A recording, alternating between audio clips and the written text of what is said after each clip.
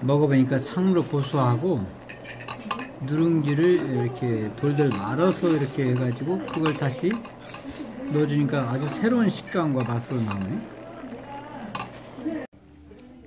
문화가 있는 본가진 한정식당 50년 가까이 한식만 정진해온 우리 봉하원 기능장님의 집인데 또 이렇게 직접 그림까지 그렸다니 참으로 예술가고 요리 일을 하면서도 또 예술가이고 참 멋진 인생을 삽니다.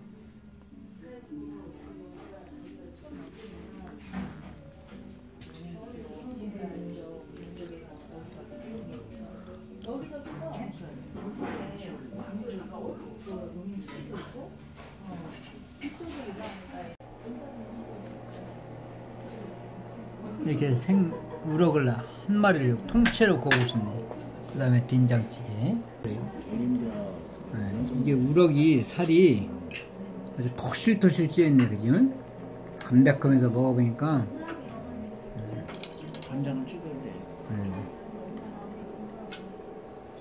양념을 찍어서 이제 맛을 즐겨봅니다.